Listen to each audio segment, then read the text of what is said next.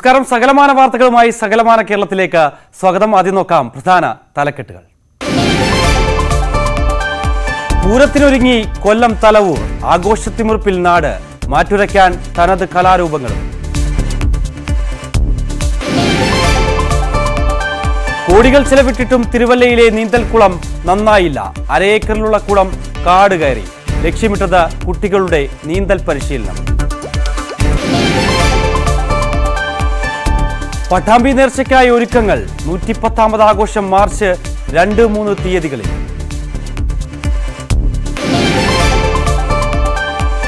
ഇടുക്കിയിലെ സപ്ലൈകോ സ്റ്റോറുകൾ കാലി. തോട്ടം ആദിവാസി മേഖലയിലുള്ളവരുടെ നിത്യജീവിതം താളം തെറ്റി. വിശദമായ വാർത്തകൾ നോക്കാം. ഇന്ന് ചോറ്റാനിക്കര മകം. രാവിലെ അഞ്ചരയോടെ ഓണക്കുറ്റിച്ചിറയിലെ ആറാട്ടും ഇറക്കി പൂജയോടും കൂടി മകം തുഴൽ ചടങ്ങുകൾക്ക് തുടക്കമായി. പറകൾ സ്വീകരിച്ച ശേഷം ദേവി ക്ഷേത്രത്തിലേക്ക് എഴുന്നള്ളും. തുടർന്നായിരിക്കും മകം എഴുന്നള്ളിപ്പ്. പതിനൊന്നിന് നട അടച്ച ശേഷം മകം തൊഴിലിനായുള്ള ഒരുക്കങ്ങൾ നടത്തും. ഉച്ചയ്ക്ക് രണ്ട് മണി മുതൽ രാത്രി പത്ത് വരെ ഭക്തർക്ക് സർവാഭരണ വിഭൂഷിയായ ദേവിയെ ദർശിക്കാം. ഇതിനായി ഇന്നലെ മുതലേ ഭക്തർ ക്ഷേത്രത്തിലെത്തി പന്തലിൽ സ്ഥാനം പിടിച്ചിട്ടുണ്ട്.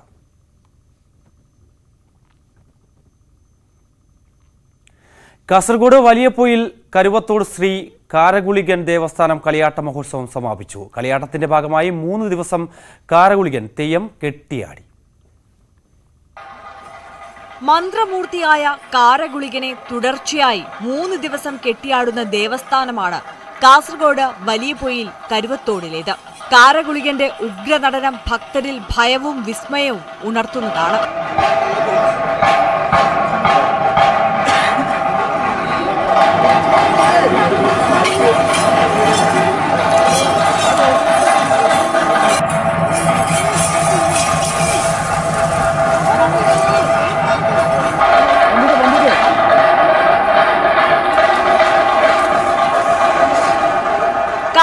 പടർപ്പിലേക്ക് ചാടി വീഴുന്നതും കൂർത്ത മുള്ളുകളിൽ ശയിക്കുകയും ചെയ്യുന്നതാണ് കാരഗുളികന്റെ പ്രത്യേകത. പലതവണ മുൾപടർപ്പിലേക്ക് ചാടി വീണ ഗുളികനെ പരിവാരങ്ങൾ വലിച്ചു പുറത്തെടുത്തുവെങ്കിലും കുതറിമാറിയ ഗുളികൻ വീണ്ടും വീണ്ടും മുൾപടർപ്പിലേക്ക് എടുത്തു ചാടി.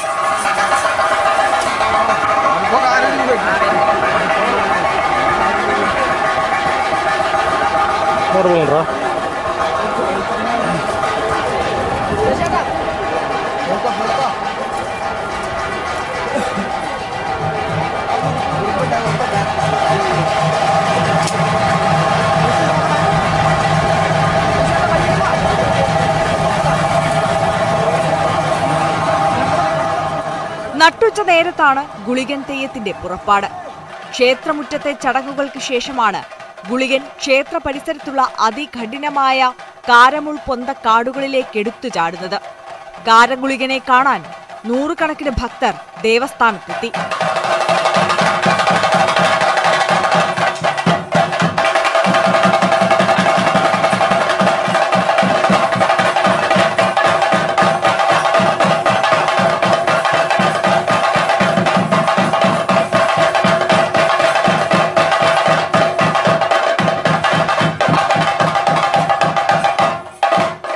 ന്യൂസ് പിലിക്കോട്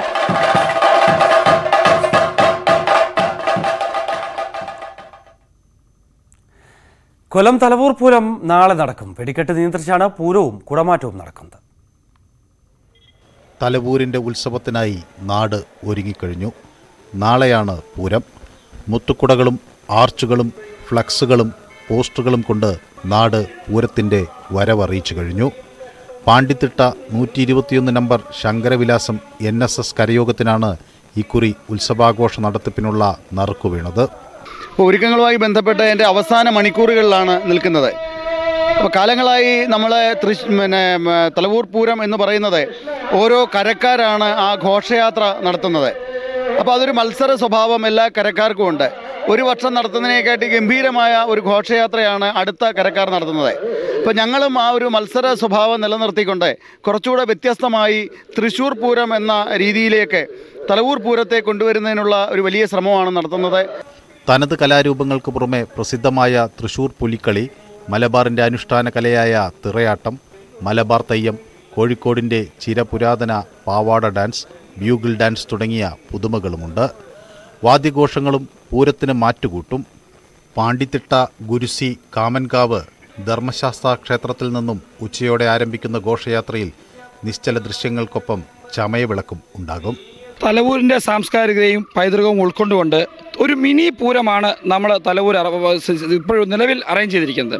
തല തൃശ്ശൂർ പൂരം കാണുന്ന അതേ സുഖത്തോടു കൂടിയും അതേ ഉന്മേഷത്തോടെയും അതേ ആരവത്തോടെയുമാണ് തലവൂർ പൂരം ഈ വട്ടം നമ്മുടെ സംഘാടകർ എത്തിച്ചിരിക്കുന്നത്. വിവിധ തരത്തിലുള്ള കലാപരൂപങ്ങൾ നമ്മുടെ ഇവിടെ എത്തിച്ചേർന്നില്ലാത്ത തിറയാട്ടം എന്ന് പറയുന്നത് മലബാർ മാത്രം കണ്ടുവരുന്ന തെയ്യങ്ങൾ തൃശ്ശൂർ പൂരത്തിന് കാണുന്ന അല്ലെങ്കിൽ തൃശ്ശൂരിന്റെ മാത്രമുള്ള പുലികളി ഇത്തരത്തിലുള്ള വിവിധ കലാരൂപങ്ങൾ നമ്മൾ ഈ വട്ടം തലൂരിലേക്ക് ഇറക്കുകയാണ് തലവൂരിന്റെ പൈതൃകത്തെ വിളിച്ചോതുന്ന തലൂർ ദേശത്തിന്റെ പൈതൃകത്തെ വിളിച്ചു പോകുന്ന മുഴുവൻ ദേശവാസികളുടെയും ഒത്തൊരുമിക്കുന്ന രീതിയിലുള്ള ഒരു ഉത്സവമാണ് തലൂർ പൂരം. ക്ഷേത്ര മൈതാനിയിൽ പതിനൊന്ന് ഗജവീരന്മാരെ അണിനിരത്തി കുടമാറ്റവും പൂരമേളവും നടത്തും. പൂരത്തിന് മേളക്കൊഴുപ്പേകുന്നത് മേളപ്രമാണി കടവൂർ അനിലും അൻപത്തിയൊന്ന് വാദ്യകലാകാരന്മാരുമാണ്. പൂരങ്ങളുടെ പൂരമായ തൃശൂർ പൂരത്തിനെ വെല്ലുന്ന ഒരുക്കങ്ങളാണ് നാട് ഒരുക്കിയിരിക്കുന്നത്.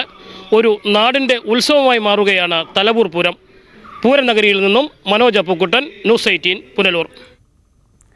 കൊട്ടാരക്കര മുത്തുമാരിയമ്മൻ കോവിലിലെ ഉത്സവാഘോഷങ്ങളുടെ ഭാഗമായി മഞ്ഞനീരാട്ടും പൂപ്പടയും നടന്നു. നാൽപ്പത്തിയൊന്ന് ദിവസത്തെ വ്രതാനുഷ്ഠാനങ്ങളോടെയാണ് ഈ ആചാരം അനുഷ്ഠിക്കുന്നത്.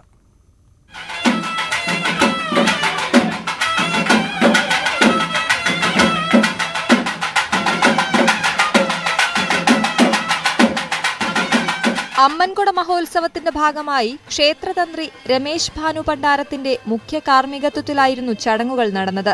നാലാം ദിവസത്തെ തൃക്കൊടിയിറക്കിന് ശേഷം നൂറ്റിയെട്ട് പറ പൂവുകൾ ഉപയോഗിച്ചായിരുന്നു പൂമൂടൽ.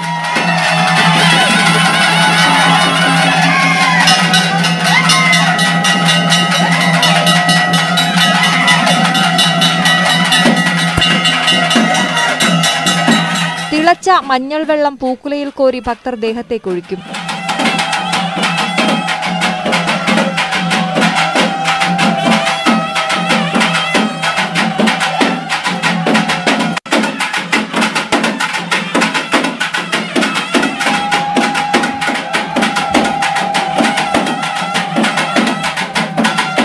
മഞ്ഞനീരാടിയ പൂക്കലകളായിരുന്നു ക്ഷേത്രത്തിൽ ഭക്തർ പ്രസാദമായി വാങ്ങിയത്.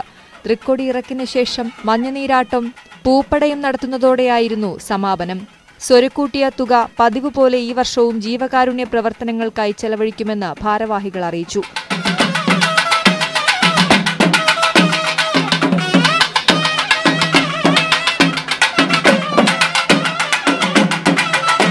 ന്യൂസ് എയ്റ്റീൻ കൊട്ടാരക്കര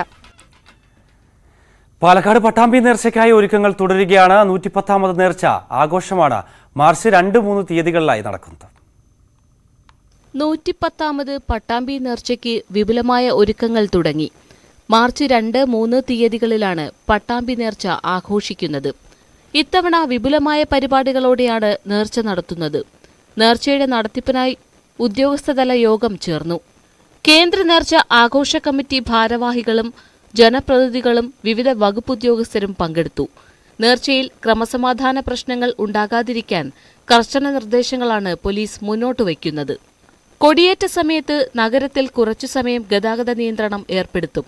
നേർച്ചയുടെ അടുത്ത ദിവസങ്ങളിൽ നഗരത്തിലെ ഹോട്ടലുകൾ കേന്ദ്രീകരിച്ച് പരിശോധന നടത്തും. സുരക്ഷ കണക്കിലെടുത്ത് നഗരത്തിലെ സി സി ടി വി ക്യാമറകൾ വഴി നിരീക്ഷണം ശക്തമാക്കും. പട്ടാമ്പിയുടെ ദേശോത്സവമായ നേർച്ചയാഘോഷം നല്ല രീതിയിൽ സമാധാനപരമായി ആഘോഷിക്കാൻ എല്ലാ വകുപ്പുകളുടെയും ഏകോപനം ഉറപ്പാക്കും. കേന്ദ്ര നേർച്ച ആഘോഷ കമ്മിറ്റികൾക്ക് പുറമെ നാൽപ്പത്തിനാല് ഉപ ആഘോഷ കമ്മിറ്റികളുടെ നേർച്ചവരവും ഉണ്ടാകും. കേരളത്തിലെ പ്രശസ്തരായ ആനകൾ അണിനിരക്കും. ഇങ്ങനെ വലിയ മുന്നൊരുക്കമാണ് നടത്തുന്നത്. News eighteen Pattambi. കോടികൾ ചിലവിട്ട് നിർമ്മിച്ച പത്തനംതിട്ട തിരുവല്ല നഗരസഭയുടെ നീന്തൽക്കുളത്തിന്റെ സ്ഥിതി ഇന്ന് വളരെ ദയനീയമാണ്. ജില്ലാ അക്വാറ്റിക് അസോസിയേഷന്റെ നേതൃത്വത്തിൽ അര ഏക്കറോളം സ്ഥലത്ത് പതിമൂന്ന് വർഷം മുമ്പ് നിർമ്മിച്ച നീന്തൽക്കുളമാണ് അധികൃതരുടെ അനാസ്ഥയിൽ ഇപ്പോൾ കാട് കയറി നശിക്കുന്നത്.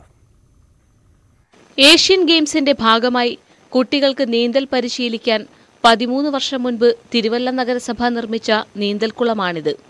കായിക വകുപ്പിൽ നിന്നും അനുവദിച്ച അൻപത് ലക്ഷം രൂപ കുളത്തിനായി ചിലവിട്ടു. എന്നാൽ നിർമ്മാണത്തിലെ അപാകത കാരണം നീന്തൽക്കുളത്തിൽ ചോർച്ചയുണ്ടായി. തുടർന്ന് ഉദ്ഘാടനം പോലും നടത്തിയില്ല. സ്പോർട്സ് കൗൺസിലിന്റെ നേതൃത്വത്തിൽ അഞ്ചു വർഷം മുൻപ് കുളത്തിന്റെ ചോർച്ച പരിഹരിക്കുന്നതിനും മേൽക്കൂര നിർമ്മാണത്തിനുമായി മുപ്പത് ലക്ഷം രൂപ കൂടി അനുവദിച്ചെങ്കിലും അതും അനിശ്ചിതത്വത്തിലായി. കുളം ഇപ്പോൾ കാട് കയറി. എൺപത് ലക്ഷം രൂപ മുടക്കിയ തിരുവല്ലയിലെ സ്വിമ്മിംഗ് പൂൾ എങ്ങുമെത്താതെ ഇപ്പോൾ കൊതുകുളത്തിൽ കേന്ദ്രമായി മാറുകയാണ്. മനസ്സിലായില്ലേ? അപ്പോൾ അതിന് അടിയന്തരമായി ഇപ്പോഴും ബഡ്ജറ്റ് പ്രൊവിഷൻസൊക്കെ ഇപ്പോൾ ഇന്നലെ പാസ്സാക്കി. എങ്കിൽ തന്നെയും അത് നിർമ്മാണവുമായിട്ട് ഒന്നും പോയിട്ടില്ല. അപ്പോൾ ഇവിടുത്തെ കുട്ടികൾക്ക് ഈ പൈസ ഇത്ര എൺപത് ലക്ഷം രൂപ ഇവിടുത്തെ ഭയങ്കരമായ ലോസായിട്ട് ഇവിടുത്തെ പൊതുജനങ്ങളുടെ പൈസയാണ് പക്ഷേ ഇത് സ്വിമ്മിംഗ് പൂൾ എങ്ങും എത്താതെ കിടക്കുന്നു. അപ്പോൾ അടിയന്തരമായിട്ട് തന്നെ ഇതിനൊരു പരിഹാരം എത്രയും പെട്ടെന്ന് ഉണ്ടാവണം എന്നുള്ളതാണ് ജില്ലാ സംസ്ഥാനത്തിന്റെ ആവശ്യം. ഇത്രയും കാശ് മുടക്കിയിട്ട് ഇത് ഒരു അനാഥപ്രദമായിട്ട് കുറച്ചു കാലമായി ഇങ്ങനെ കിടക്കുന്നു. ഇങ്ങനെ നമ്മുടെ നമ്മുടെ കാശ് ഗവൺമെന്റ് ഭാഗത്തു നിന്ന് ഇങ്ങനെ ചിലവാക്കി ജനങ്ങളെ ബുദ്ധിമുട്ടിരിക്കുന്ന നമുക്ക് ഒഴിവാക്കാൻ വേണ്ടി നമുക്ക് എന്ത് ചെയ്യാൻ സാധിക്കും? അധികൃതർ ഇതിനെപ്പറ്റി ചിന്തിക്കേണ്ടതായിട്ടുണ്ട്. മാലിന്യം നിറഞ്ഞ് ഉപയോഗശൂന്യമായ നീന്തൽക്കുളം കാടുമൂടിയ അവസ്ഥയിലാണ്. കുളത്തിനു ചുറ്റും കാടുമൂടിയതോടെ ഇഴജന്തുക്കളുടെ താവളമായി. അമ്പത് ലക്ഷം രൂപ മുടക്കി നഗരസഭ ഉണ്ടാക്കിയ ഉണ്ടാക്കിയ ഈ സ്വിമ്മിംഗ് പൂൾ. ചോർച്ച നിമിത്തം പിന്നീട് രണ്ട് പ്രാവശ്യം മുപ്പത് ലക്ഷം രൂപ മുടക്കിയെങ്കിലും ഇന്നേ വരെ ഒരാൾക്ക് പോലും അത് ഉപയോഗിക്കാനൊക്കാത്ത രീതിയിലാണ് ഇന്നത്തെ അവസ്ഥ. നാട്ടുകാരും അതുപോലെ തന്നെ നമ്മുടെ തിരുവല്ലായും ഒക്കെ പ്രതികരിച്ചെങ്കിലും ഇതുവരെ അതിന് ശാശ്വതമായ ഒരു പരിഹാരം കണ്ടെത്തിയിട്ടില്ല. കുളം അറ്റകുറ്റപ്പണി നടത്തി ഉപയോഗയോഗ്യമാക്കാനുള്ള നടപടി നഗരസഭ സ്വീകരിക്കണമെന്നാണ് ആവശ്യം. കുട്ടികൾക്ക് നീന്തൽ പഠിക്കാനായിട്ട് ഉണ്ടാക്കിയ ഒരു നീന്തൽക്കുളം ഇന്ന് ഒരു അനാഥ പ്രേതന്മാരി കിടക്കുകയാണ്. ഇവിടെ മുഴുവനും കാട് കയറി ഇഴജന്തുക്കളുടെ ശല്യം വളരെയധികം ഉണ്ടായിട്ടുണ്ട്. അതുപോലെ കൊതുക് പെരുകി തദ്ദേശ നിവാസികൾക്കും വളരെയധികം ബുദ്ധിമുട്ടുണ്ടാക്കുന്നുണ്ട്. അതേസമയം ഈ വർഷത്തെ ബജറ്റിൽ കുളത്തിന്റെ അറ്റകുറ്റപ്പണിക്കായി അഞ്ച് ലക്ഷം രൂപ വകയിരുത്തിയതായും പണി ഉടൻ ആരംഭിക്കുമെന്നും തിരുവല്ല നഗരസഭാ ചെയർപേഴ്സൺ അനു ജോർജ് പറയുന്നു. രണ്ടായിരത്തി ഇരുപത്തിനാല് ഇരുപത്തഞ്ചിലെ ബഡ്ജറ്റിൽ അഞ്ച് ലക്ഷം രൂപ ഇതിന്റെ പരിപാലനത്തിന് വേണ്ടി പ്രവർത്തനക്ഷമമാക്കുന്നതിന് വേണ്ടി വക കൊള്ളിച്ചിട്ടുണ്ട് അത് വെച്ച് ജനങ്ങൾക്ക് പ്രയോജനമാകുന്ന രീതിയിൽ അതിന്റെ പ്രവർത്തനം ആരംഭിക്കാനായിട്ട് എത്രയും പെട്ടെന്ന് നടത്താനായിട്ട് തീരുമാനിച്ചിട്ടുണ്ട്. News eighteen Pathanamthitta. ആശ്രയ അതിദരിദ്ര ഗുണഭോക്താക്കൾക്ക് ഹരിതകർമ്മസേനയുടെ യൂസർ ഫീ ഇളവ് അനുവദിച്ച പാലക്കാട് പട്ടാമ്പി നഗരസഭ. നഗരസഭാ പരിധിയിലെ നൂറ്റി എൺപത്തി ഒന്ന് കുടുംബങ്ങൾക്കാണ് ഇളവ് ബാധകം. നിലവിൽ വീടുകളിൽ നിന്ന് മാലിന്യം നീക്കുന്നതിന് ഹരിതകർമ്മസേന അൻപത് രൂപയാണ് ഫീസിനത്തിൽ ഈടാക്കുന്നത്. യൂസർ ഫീ ഇളവ് നൽകണമെന്ന സർക്കാർ നിർദ്ദേശത്തിനൊപ്പമുള്ള പട്ടാമ്പി നഗരസഭാ കൗൺസിലിന്റെ ഈ തീരുമാനം ഗുണഭോക്താക്കൾക്ക് വലിയ സഹായമാകും. പട്ടാമ്പി നഗരസഭാ പരിധിയിലെ ആശ്രയ അതിദരിദ്രരിൽ ഉൾപ്പെട്ടിട്ടുള്ള ആളുകൾക്ക് നമ്മൾ ഹരിതകർമ്മസേനയ്ക്ക് യൂസർ ഫീ നൽകുന്നതുമായി ബന്ധപ്പെട്ടുള്ള യൂസർ ഫീ നമ്മൾ ഒഴിവാക്കാൻ തീരുമാനിച്ചിരിക്കുന്നത് സർക്കാർ ഉത്തരവ് പ്രകാരമാണ് നമ്മളത് ഒഴിവാക്കാൻ തീരുമാനിച്ചിട്ടുള്ളത്. ഇന്നലത്തെ കൗൺസിൽ തീരുമാനമായിട്ടാണ് ഇത് അംഗീകാരം നേടിയിട്ടുള്ളത്. അതുകൊണ്ട് തന്നെ നിരവധിയായ നൂറ്റി എൺപത്തൊന്ന് കുടുംബങ്ങൾക്ക് ഇതിന്റെ സൗകര്യം ലഭിക്കും. നമ്മുടെ നഗരസഭാ പരിധിയിലെ ആശ്രയ പദ്ധതിയിൽ ഉൾപ്പെട്ടവരും അതുപോലെ തന്നെ അതിദരിദ്രരിൽ ഉൾപ്പെട്ടവർക്കും ആണ് ഈ പദ്ധതിയുടെ ആനുകൂല്യം ലഭിക്കുന്നത്. വളരെ സന്തോഷകരമായൊരു കാര്യമാണ് ജനങ്ങൾക്ക് മുമ്പിലേക്ക് നഗരസഭ ഭരണകർത്താക്കൾക്ക് അറിയിക്കാനുള്ളത്. മികച്ച പ്രവർത്തനം കാഴ്ചവെച്ച തദ്ദേശ സ്വയംഭരണ സ്ഥാപനത്തിനുള്ള അവാർഡ് പത്തനംതിട്ട അരുവപ്പാലം ഗ്രാമപഞ്ചായത്ത് കരസ്ഥമാക്കി. പദ്ധതി നിർവഹണത്തിലെ മികവ് മികച്ച മാലിന്യ സംസ്കരണ പ്രവർത്തനങ്ങൾ അതിദാരിദ്ര്യ നിർമ്മാർജനം നൂതന പദ്ധതികളുടെ നടത്തിപ്പ് തുടങ്ങിയ സമഗ്ര വികസന പ്രവർത്തനങ്ങൾ വിലയിരുത്തിയാണ് അവാർഡ്. പത്തനംതിട്ടയിലെ അൻപത്തിമൂന്ന് പഞ്ചായത്തുകളിൽ നിന്നാണ് മികച്ച പഞ്ചായത്തിനുള്ള അവാർഡ് അരുവാപ്പുലം കരസ്ഥമാക്കിയത്. തൊഴിലുറപ്പ് പദ്ധതി നികുതി പിരിവ് എന്നിവയിൽ നൂറിൽ നൂറ് ശതമാനം പൂർത്തിയാക്കിയും വാർഷിക പദ്ധതിയിൽ ലഭിച്ച തുകയുടെ നൂറ് ശതമാനവും വിനിയോഗിച്ചാണ് അരുവാപ്പുലം പഞ്ചായത്ത് ജില്ലയിൽ ഒന്നാമതെത്തിയത്. വികസന പ്രവർത്തനങ്ങൾക്ക് പുറമെ നൂതന പദ്ധതികൾ ആവിഷ്കരിച്ച് നടത്തിയുമാണ് അരുവാപ്പുലം പഞ്ചായത്ത് മികച്ച പഞ്ചായത്തിനുള്ള സ്വരാജ് ട്രോഫി നേടിയത്.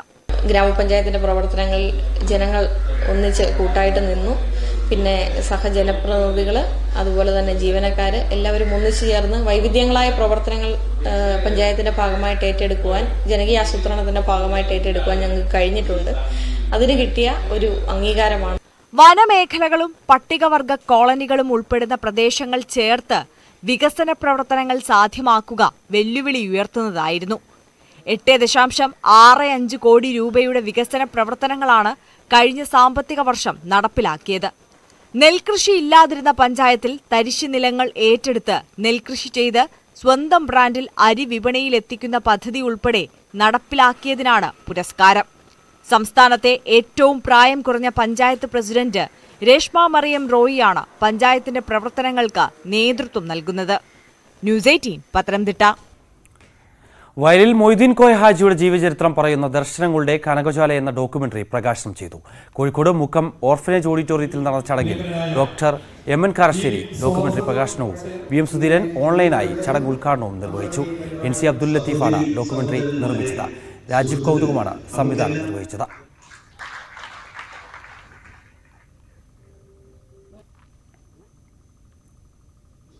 മനസ്സ് നോക്കുമ്പോൾ അന്നത്തെ നാൽപ്പത് കൊല്ലം മുമ്പ് മരിച്ചുപോയ ആൾക്കൊക്കെ ഞാൻ പറയുന്നത് കേട്ടോ. എൺപത്തി മൂന്നിൽ മൊയ്യുമായിട്ട് മരിച്ചു ഇളം പ്രായത്തിൽ കണക്കിൽ അമ്പതിനായിരം അറുപതിനായിരം അറുപത്തയ്യായിരം ഒന്നും കാണും അതെന്താ? കണക്കിൽ കാണുന്നു ആ അത് സാരില്ല അത് നീ എന്റെ കണക്കിൽ എഴുതിക്കും എന്ന് പറയും. എന്താ സംഭവം? അദ്ദേഹം എവിടെ പോകുമ്പോഴും യാത്ര ചെലവ് എടുക്കുന്നില്ല ബസ് തിരുവനന്തപുരത്ത് പോയി എറണാകുളത്ത് പോയി ഡൽഹി പോയി. അതൊക്കെ ചെലവാണ്. അതെങ്ങനെ? ആ ചെലവ് എങ്ങനെ കാണും? അദ്ദേഹത്തിന്റെ ഏതെങ്കിലും ഒരു എസ്റ്റേറ്റ് അല്ലെങ്കിൽ ഒരു പറമ്പ് ഒരു നിന്നോട്ട് അങ്ങോട്ട് വിട്ടിട്ട് അതോടെ വരവേൽക്കുക അടുത്തു. ഇത്രയും കൊണ്ട് നടത്തിയിട്ട് ഒരു തവണ പോലും യാത്ര പിടിയെടുക്കാതെ യാത്രയുടെ ചെലവ് ഭക്ഷണത്തിന്റെയോ താമസത്തിന്റെയോ യാത്രയുടെയോ ചെലവെടുക്കാതെ അത് മുഴുവൻ സ്വന്തം അക്കൗണ്ടിൽ എടുത്ത് അദ്ദേഹത്തിന് പൈസ പൈസയൊന്നുമില്ല പറമ്പ് കൊണ്ട് വിൽക്കുന്നത് അങ്ങനെയാണ് ഇവിടെ അദ്ദേഹം പ്രവർത്തിച്ചത്. ഇടുക്കിയിലെ സപ്ലൈകോ സ്റ്റോറുകളിൽ സബ്സിഡി സാധനങ്ങൾ കിട്ടാനില്ലാത്തത് ജനങ്ങളെ വളരെയധികം വലയ്ക്കുകയാണ്. ആവശ്യത്തിന് സാധനങ്ങൾ ഇല്ലാതായതോടെ ജനങ്ങൾ അധിക വില നൽകി പൊതുമാർക്കറ്റിൽ നിന്നും സാധനങ്ങൾ വാങ്ങേണ്ട അവസ്ഥയിലാണ്. തോട്ടം മേഖലയിലെയും ആദിവാസി കുടുംബങ്ങളിൽ നിന്നുള്ളവരുമാണ് സപ്ലൈകോ കൗണ്ടറുകളെയും മാവേലി സ്റ്റോറുകളെയും ഏറ്റവും അധികം ആശ്രയിക്കുന്നത്. സപ്ലൈകോ ഉൽപ്പന്നങ്ങളുടെ വിലവർധന വലിയ തോതിൽ ജനജീവിതത്തെ ബാധിച്ചു. അധിക വില കൊടുത്താൽ പോലും മാവേലി സ്റ്റോറുകളിലും സപ്ലൈകോ കൗണ്ടറുകളിലും അത്യാവശ്യം വേണ്ട സാധനങ്ങളും കിട്ടാനില്ല. സഞ്ജീവമായി പൊതുജനം കടന്നു വരുന്നു അരി കിട്ടുന്നില്ല പഞ്ചസാര കിട്ടുന്നില്ല മറ്റ് നിത്യോപയോഗ സാധനങ്ങൾ ഒന്നും തന്നെ കിട്ടാത്ത രീതിയിലേക്ക് മാറിക്കഴിഞ്ഞിരിക്കുന്നു. ഈ അവസ്ഥയ്ക്കൊരു മാറ്റം വരുത്തി ഇവിടുത്തെ ജീവനക്കാരെ നിലനിർത്തുകയും അവർക്ക് സമയാസമയത്ത് ശമ്പളം കൊടുക്കുകയും കടന്നു വരുന്ന പൊതുജനങ്ങൾക്ക് നിത്യോപയോഗ സാധനങ്ങൾ ഇവിടെ വിതരണം ചെയ്യാനുള്ള മുഴുവൻ സംവിധാനവും ഉണ്ടാക്കി ഈ സപ്ലൈക്കോ നിലനിർത്തി പോകാൻ ബന്ധപ്പെട്ട അധികാരികൾ തയ്യാറായില്ലെങ്കിൽ പൊതുജന സമരത്തെ നേരിടേണ്ടി വരും. ഈ സർക്കാർ നേരിടേണ്ടി വരുമെന്ന് മുന്നറിയിപ്പ് തരുവാൻ ഞാൻ ആഗ്രഹിക്കുന്നു. അടിമാലി ഉൾപ്പെടെയുള്ള പ്രധാന ടൗണുകളിലെ സപ്ലൈകോ മാർക്കറ്റുകളിൽ അത്യാവശ്യം വേണ്ട സാധനങ്ങൾ പോലുമില്ല. കൂലിവേലയും തൊഴിലുറപ്പ് ജോലികളുമായി ചെറിയ വരുമാനത്തിൽ മാത്രം ജീവിക്കുന്ന ആയിരക്കണക്കിന് കുടുംബങ്ങളാണ് സപ്ലൈകോയിലെ പ്രതിസന്ധി മൂലം ദുരിതം നേരിടുന്നത്. പൊതുവിപണിയിലെ പൊള്ളുന്ന വിലയിൽ നിന്നും കുറെയൊക്കെ ആശ്വാസം കണ്ടെത്തിയിരുന്നത് സപ്ലൈകോയിലൂടെയായിരുന്നു. സർക്കാരിന്റെ പിടിപ്പുകേട് മൂലമുണ്ടാകുന്ന പ്രതിസന്ധി ഹൈറേഞ്ചിലെ പതിനായിരക്കണക്കിന് ദരിദ്ര കുടുംബങ്ങളെ ബാധിക്കുകയാണ്. News eighteen Idukki. ശോചനീയാവസ്ഥയിലായ വീട്ടിൽ കഴിഞ്ഞിരുന്ന കുടുംബത്തിന് വീട് നിർമ്മിച്ച് നൽകി കരുനാഗപ്പള്ളി സ്വദേശി. തിരൂർ അരിമ്പൂർ സ്വദേശി രമണിക്കും കുടുംബത്തിനുമാണ് വീട് നൽകിയത്. കരുനാഗപ്പള്ളി സ്വദേശി മുനീറസ് അറക്കലാണ് ഏഴ് ലക്ഷം രൂപ ചിലവഴിച്ച് വീട് നിർമ്മിച്ചു നൽകിയത്.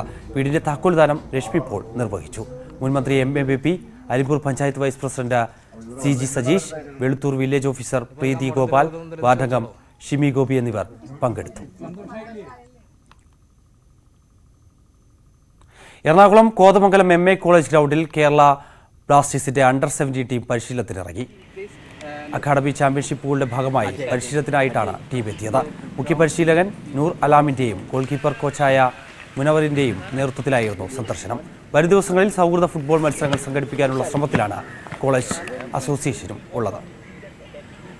We are uh, we are really pleased and uh, uh, thankful to sir for uh, taking us around in the campus and Uh, I've not seen anything like this before in Kerala, to be honest, and uh, the facilities from swimming pool to uh, indoor stadium to this ground, whatever we saw, it is really fantastic, and uh, it is it is absolutely great. Uh, the the place, uh, it is a, a iconic place. The scenic beauty is there, and the the school is there, the college is there. So uh, whole setup is being placed with uh, with uh, so much dedication and and uh, with right intentions and uh, this is uh, huge in its own term and i'm really thankful to sir for this opportunity to have us here and we are really looking forward to our training session here വളരെ നല്ലൊരു experience ആയിരുന്നു ഞാൻ കുറച്ച് കാലം കേരളത്തിൽ work ചെയ്തിട്ടുള്ളെങ്കിലും ജീവിതത്തിന്റെ പകുതി ഭാഗവും നോർത്തിൽ വർക്ക് ചെയ്ത ഒരാളാണ്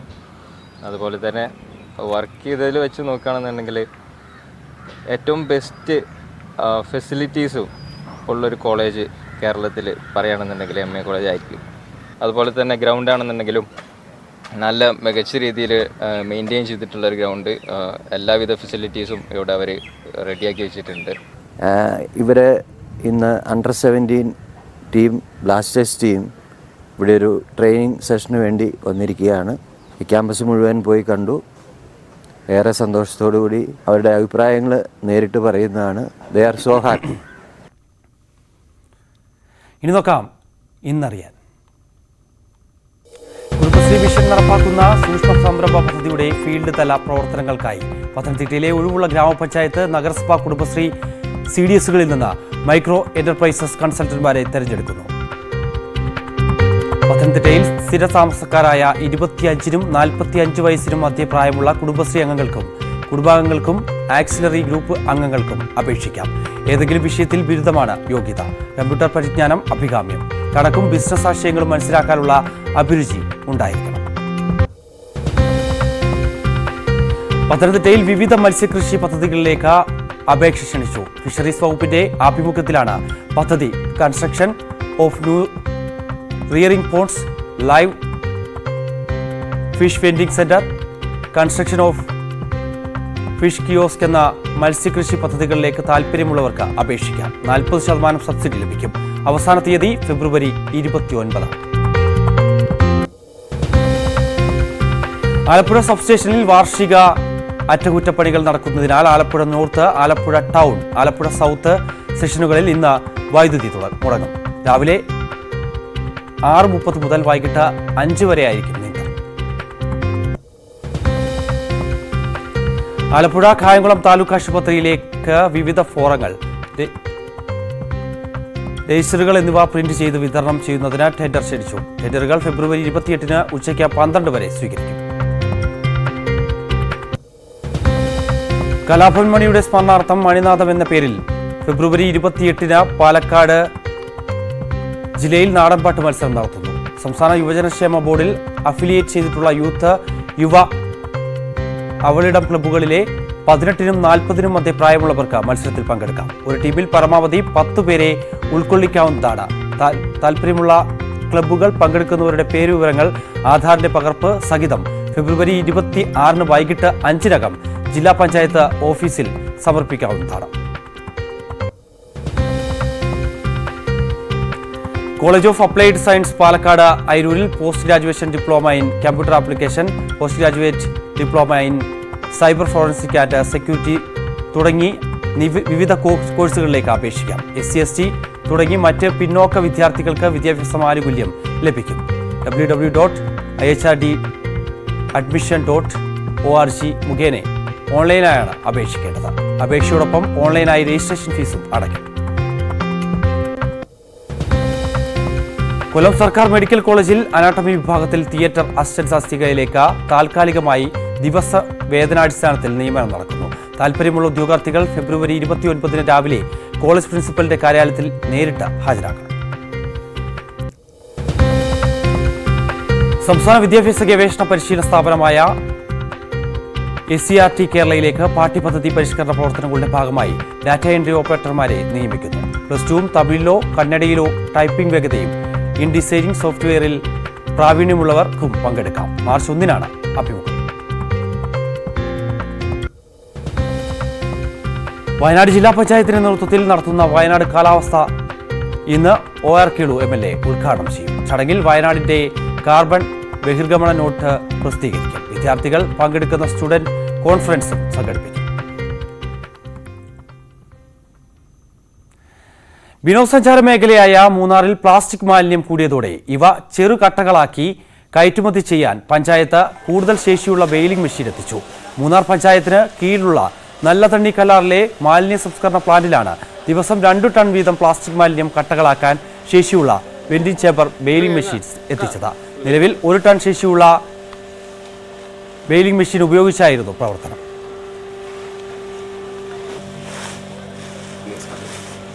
മൂന്നാർ ഗ്രാമപഞ്ചായത്തിന്റെ കല്ലാറിലുള്ള മാലിന്യ സംസ്കരണ കേന്ദ്രത്തിൽ ഗ്രാമപഞ്ചായത്ത് പുതിയതായി ഒരു ഡബിൾ ചേംബർ ബെയിലിംഗ് മെഷീൻ കൂടി സ്ഥാപിച്ചിട്ടുണ്ട്. നേരത്തെ ഉണ്ടായിരുന്ന സിംഗിൾ ചേംബർ ബെയിലിംഗ് മെഷീൻ കൂടാതെയാണ് ഈ double chamber machine baling machine. മൂന്നാറിലെത്തുന്ന അല്ലെങ്കിൽ മൂന്നാറിൽ നിന്ന് ശേഖരിക്കുന്ന വിവിധ പ്രദേശങ്ങളിൽ നിന്നും കോട്ടേജുകളിൽ നിന്നും ടൂറിസ്റ്റുകളുമൊക്കെ നിക്ഷേപിക്കുന്ന വിവിധങ്ങളായ അജൈവ മാലിന്യങ്ങൾ. അവ ബെയിൽ ചെയ്ത് സൂക്ഷിച്ച് വിൽപ്പന നടത്തുന്നതിനൊക്കെ കഴിയാതെ പോയ സാഹചര്യത്തിലാണ് ഒരു ഡബിൾ ചേംബർ മെഷീൻ കൂടി വാങ്ങിച്ചത്. കഴിഞ്ഞ പതിനഞ്ച് മാസമായിട്ട് പതിനഞ്ച് ലക്ഷം രൂപയോളം തന്നെ ഇത്തരത്തിൽ പ്ലാസ്റ്റിക് ബെയിൽ ചെയ്ത് പ്ലാസ്റ്റിക് ബോട്ടിലുകൾ ബെയിൽ ചെയ്ത് പഞ്ചായത്തിൽ കിട്ടിയിട്ടുണ്ട്. പക്ഷേ ഇത്തരത്തിൽ കിട്ടുന്ന എല്ലാ ജൈവ മാലിന്യങ്ങളും ബെയിൽ ചെയ്ത് സിമെന്റ് ഫാക്ടറികളിലേക്കെങ്കിലും അത്തരത്തിൽ വിൽപ്പനയ്ക്ക് കൊടുക്കുന്നതിനും ഒക്കെ കഴിയാതെ പോയ സാഹചര്യത്തിലാണ് ഒരു അധിക മെഷീൻ കൂടി വാങ്ങിച്ചിട്ടുള്ളത്. ഈ മെഷീൻ കൂടി വരുന്നതോടുകൂടി തന്നെ മൂന്നാറിലെ എല്ലാ പ്രദേശങ്ങളിൽ നിന്നും തരംതിരിച്ച് മാലിന്യങ്ങൾ കിട്ടിയാൽ വളരെ സുഖമായി മൂന്നാറിന്റെ മാലിന്യ സംസ്കരണ പ്രശ്നം പരിഹരിക്കാൻ കഴിയും. ഒപ്പം സമീപ പഞ്ചായത്തുകൾക്ക് അവരുടെ അവർ ശേഖരിക്കുന്ന ഹരിതാർമ്മ സേനകൾ വഴി ശേഖരിക്കുന്ന മാലിന്യങ്ങൾ ജൈവ മാലിന്യങ്ങളും പ്ലാസ്റ്റിക്കും ഒക്കെ പഞ്ചായത്ത് കുറഞ്ഞ ഫീസ് ഈടാക്കിക്കൊണ്ട് അവിടെ അതും പേര് ചെയ്ത് കൊടുക്കാൻ പഞ്ചായത്തിന് കഴിയുന്ന ഒരു സംവിധാനമുണ്ട്. അവിടെ സ്ഥലപരിമിതിയുടേതാണ് പിന്നീട് പ്രശ്നം അവശേഷിക്കുന്നത്.